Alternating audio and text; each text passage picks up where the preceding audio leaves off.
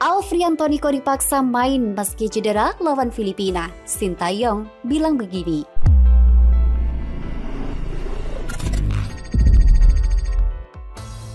Pemain Indonesia Alfriantoniko dipaksa bermain saat cedera melawan Filipina Piala AFF U19 2022. Pelatih Garuda Nusantara Sintayong membejarkan alasannya. Niko dipercaya main sebagai starter melawan Filipina di Stadion Patria Chandrabaga Pemain Persija Jakarta itu menyumbang satu gol dalam kemenangan telak 5-1. Sayangnya, di babak kedua tepatnya menit ke-75 kondisi Niko agak mengkhawatirkan. Dia tergeletak di lapangan karena cedera.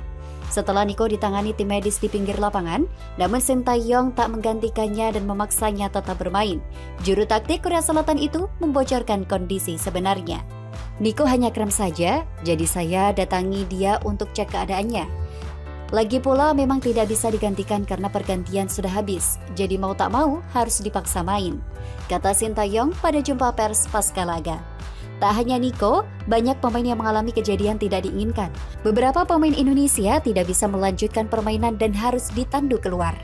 Menurut Sintayong, hal itu dikarenakan padatnya jadwal kompetisi. Bermain setiap dua hari sekali dinilai tidak baik untuk pemain, apalagi mereka masih muda. Seperti yang Anda lihat, bermain setiap dua hari sekali itu tidak baik untuk para pemain. Lebih baik jika bermain setiap tiga atau empat hari sekali, kalau itu baru lebih baik untuk performa pemain. Tuturnya.